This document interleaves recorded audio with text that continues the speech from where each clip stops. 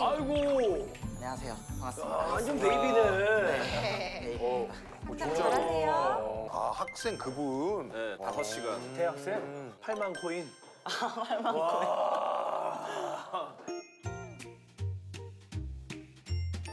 두 번째 체크에 현실 해결책을 좀 얘기해 달라. 그리고 이거는 좀 저희가 부담이 됩니다. 완전 해결을 해줘야 될 것 같은 느낌이 있어. 해결책을 주는 것까지가 저희 몫이고 해결을 하느냐 하지 않느냐는 본인 몫인 거죠.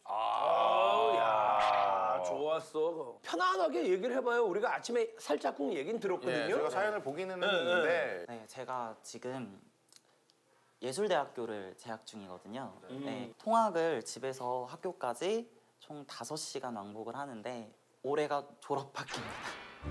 졸업학기입니다. 졸업 학기라고. 네, 요번이 졸업이에요. 그러면은- 이번이 졸업이에요. 다, 다 끝나? 근데 아, 왜요? 왜요? 아니 졸업이라고요? 아니 아니 아니요. 그러면 그러니까 이번이 2학년이고 아, 1년 남았어요? 네, 1년 남았어요. 아, 저는 해결된 줄 알고. 정확하게 어, 아이, 다 끝난 얘기를 하러 온 줄 알고. 제가 오해를 드렸나요? 지금 mother father 입장이었어요. 예, 예. 아이고, 뭐, 얘가 다 해놓고, graduation 다 해놓고, 이게 무슨 얘긴가 했네. 아, 진짜 이 자리에 안 왔죠. 어. 아직 1년이 남은 네.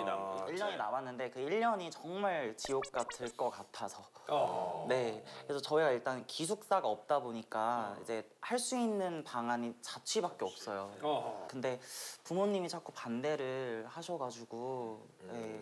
아니, 집이 인천이라고 그랬잖아요. 네. 그러면 거기 그 학교가 어디에 있는 거예요? 경기도 의왕시에 있어요. 의왕. 어, 안산 아니야, 안산? 네, 안산 쪽에 야, 다섯 시간이면 이거 네. 원양어선 탈 정도의 체력인데. 그러니까 그, 그 어떻게 가는 거예요? 인천에서 어떻게 다섯 시간이 어떻게 가는 거예요? 네, 자, 일단 어떻게 저희 집집 앞에 저희 나와서 집에서 버스를 타고 지하철역까지 가야 돼요. 어, 지- 버스 타고 지하철을 네, 가서? 그쪽에서 반까지 가야 되는데 그게 한 1시간 20분 정도. 그리고 이제 내려서 갈아타야 돼요. 어, 갈아타고 갈아타는데 갈아타는 그 구간도 되게 길고 도착을 하면 바로 학교가 아니에요. 또 버스를 타고 타고 또 학교까지 가야 돼요. 그러니까 버스 타고 지하철 타고 지하철 갈아타고 다시 버스 타고. 야, 그게 끝이 아니라 수업을 듣고 기운 패턴으로 다시 돌아와야 된다. 그러니까. 와, 편도도 저는 아니에요. 와, 이거 근데 못해, 못해. 수업 시간이 오전 9시부터 저녁 6시까지 이렇게 풀로 잡혀져 있다라고 생각을 하시면 돼요. 아니, 그 정도 스케줄이면 저 학교 가서 과로로 쓰러지겠네. 네. 저도 그, 그 고등학교 때 학교 그 이렇게 등교하다가 기절한 적이 있어요. 너무 빨리 가서. 왜냐면 너무 빨리 가서. 왜냐면 매일 새벽 3시에 갔어요. 새벽 3시에 머리 안 잘리려고. 그래서 20 며칠 만에 과로로 기절을 했어요.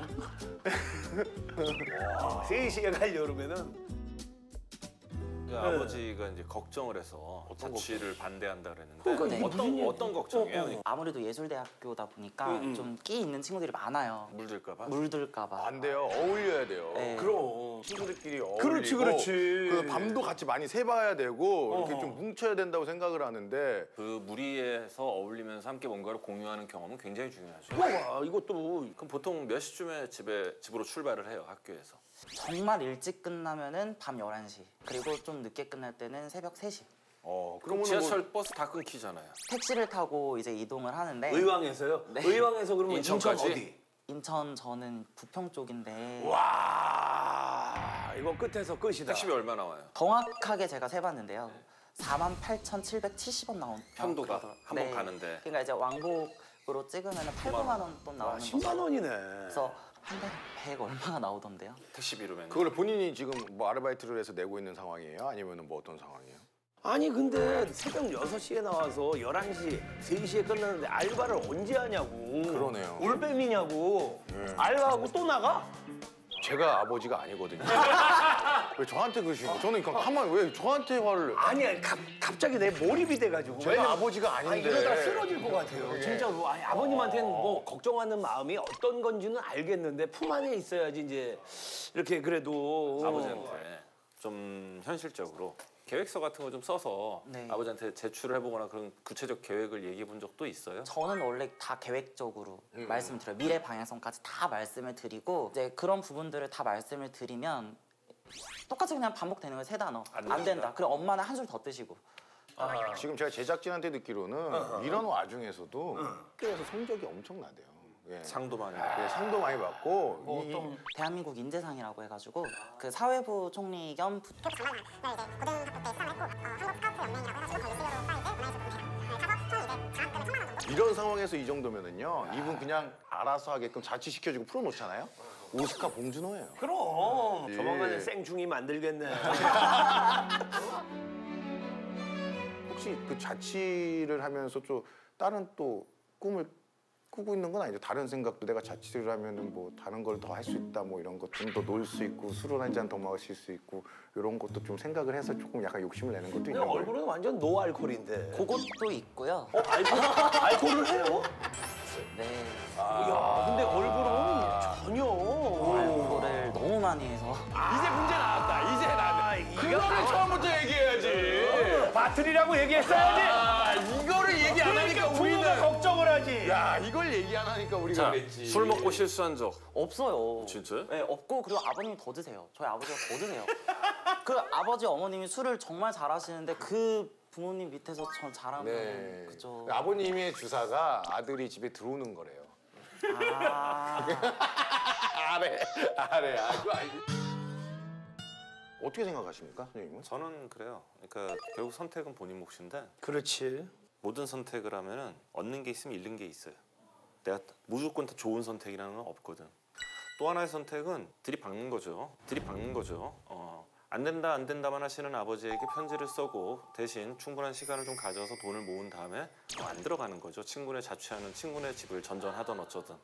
장점은 경제 시간적 그다음에 저기 뭐야 체력적 어로 손해를 덜 본다. 단점은 첫째 부모님과 관계가 아주 안 좋아질 거다.